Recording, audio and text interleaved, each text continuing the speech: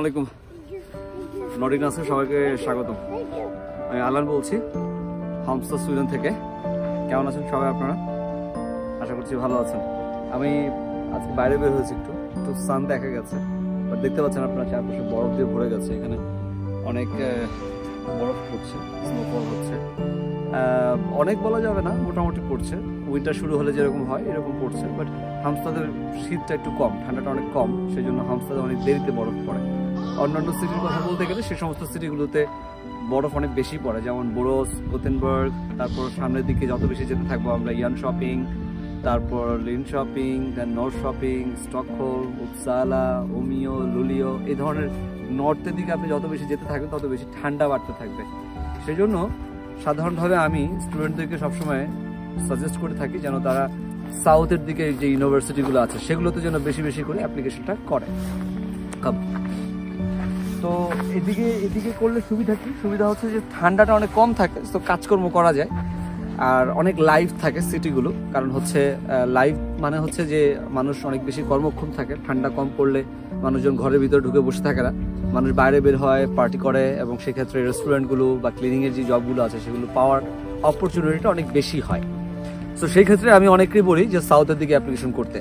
Nordic টার্মসের মাধ্যমে যা- যে সমস্ত স্টুডেন্ট অ্যাপ্লিকেশন করে, তাদের ক্ষেত্রে বেশিরভাগ ক্ষেত্রেই আমরা ঠান্ডার যেই সিটিগুলো আছে, ভালো লেখাপড়া করার পারপাস থাকলে আমরা ওগুলোতে অ্যাপ্লিকেশন করি। যেমন উমিও ইউনিভার্সিটি খুব ভালো university technical university of Lulea খুব ভালো ইউনিভার্সিটি এই ধরনের ইউনিভার্সিটিগুলোতে যারা লেখাপড়া করতে আসতে চায় এবং পরবর্তীতে তাদের মেইন ফিউচার প্ল্যান থাকে পিএইচডি করবে ডক্টরাল করবে পোস্ট ডক্টরাল করবে, এই ধরনের একটা অ্যাটেনশন যাদের থাকে, তাদের ক্ষেত্রে আমরা সাধারণভাবে দেখা যায় যে অ্যাপ্লিকেশন করি।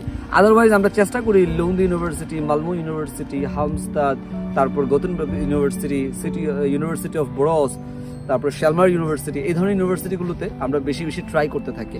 স্টকহোম ইউনিভার্সিটি তারপর সোদের তরুণ ইউনিভার্সিটি হুদিঙ্গাতে যেটা আছে Linkoping Jonkoping university এই ধরনের ইউনিভার্সিটিগুলোতেও আমরা ট্রাই করি যেন এগুলোতে অ্যাডমিশনটা সে পায়। তাহলে কি হবে? সে গোতেনবার্গে আসা যাওয়া করে সে এখানে জব করতে পারে এইভাবে সাধারণভাবে আমরা মোটামুটি সাবজেক্ট প্লাস হচ্ছে ইউনিভার্সিটি চুজ করে থাকি।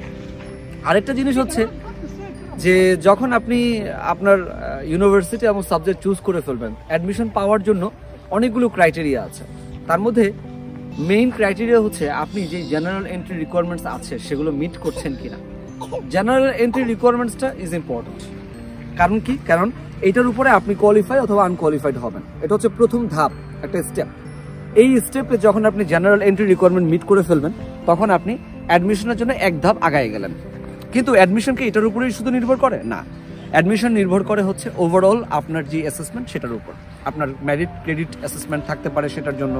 আপনার থিসিসের প্রজেক্ট থিসিস যেটা ছিল, সেটার উপর অ্যাসেসমেন্ট থাকতে পারে। আপনি যে letter of motivation letter of intent যে সমস্ত ইউনিভার্সিটি স্টেটমেন্ট অফ পারপাস চায়, সেই সেই জিনিসগুলোর উপর ডিপেন্ড করতে পারে। আপনি কীভাবে মোটিভেট করছেন একটা ইউনিভার্সিটির অ্যাডমিশন অফিসারকে সেটার উপর ডিপেন্ড করছে আমি একজনের কমেন্ট দেখলাম বা কয়েকজনের কমেন্ট দেখলাম যে অনেকে বলছে যে letter of motivation statement of purpose letter of intent এই জিনিসগুলো, এই পেপারগুলো অ্যাকচুয়ালি সেম আমিও বলি সেম কিন্তু তাহলে এগুলো ডিফারেন্ট নাম কেন?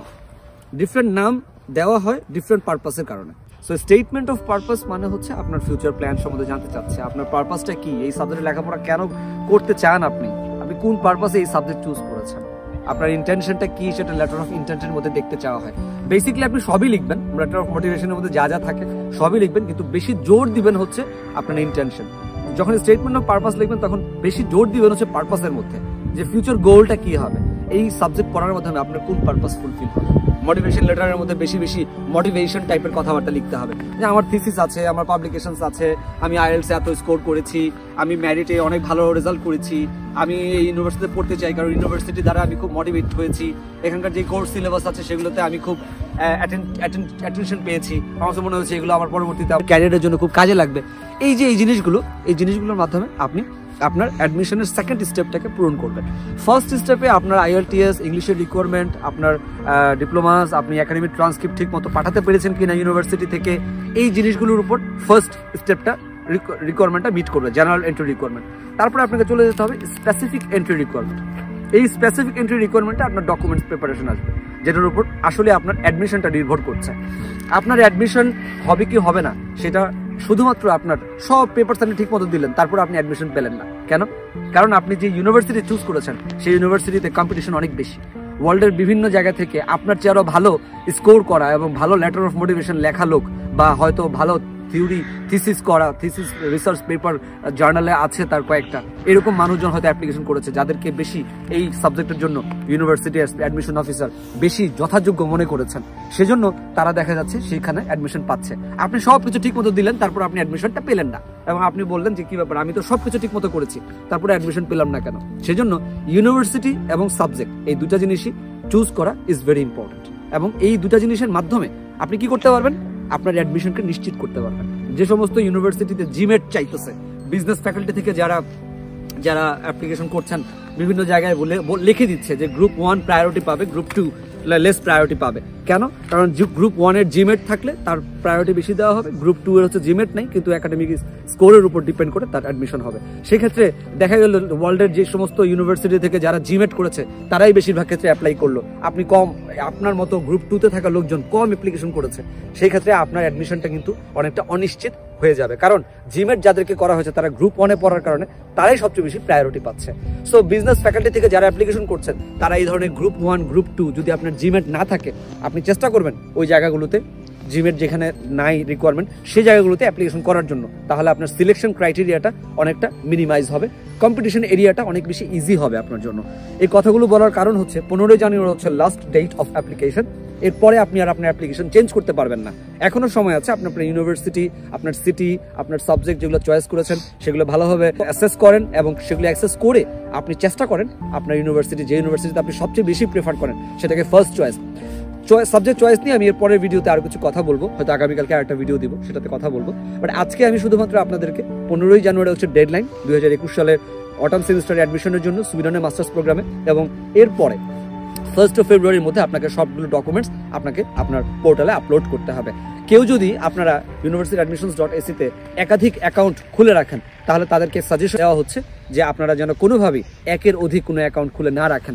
যদি এটা থাকে, তাহলে সেটা ইউনিভার্সিটি অ্যাডমিশনস ডট এসিকে তাদেরকে জানান এবং তাদেরকে বলেন যে আপনার আরেকটা অ্যাকাউন্ট ছিল, সেটাতে কোনো প্রবলেম হওয়ার কারণে আপনি আরেকটা অ্যাকাউন্ট খুলেছেন। আদারওয়াইজ কিন্তু আপনার অ্যাডমিশনের সমস্যা হতে পারে। অনেক ক্ষেত্রে তারা জেনে যায় এবং আপনাকে নেগেটিভ একটা লিস্টে ফেলে দেয়। সো সেটাকেও কেয়ারফুলি নজর রাখতে হবে। সবাই অনেক অনেক ভালো থাকবেন, সুস্থ থাকবেন কেয়ারফুলি থাকবেন সেফ থাকবেন। করোনার এই সময়ে সোশ্যাল ডিস্টেন্স মেনটেন করুন দুই মিটার, প্রত্যেকের কাছ থেকে প্রত্যেকে। সবাই অনেক অনেক ভালো থাকবেন, সুস্থ থাকবেন। আসসালামু আলাইকুম, আল্লাহ হাফিজ।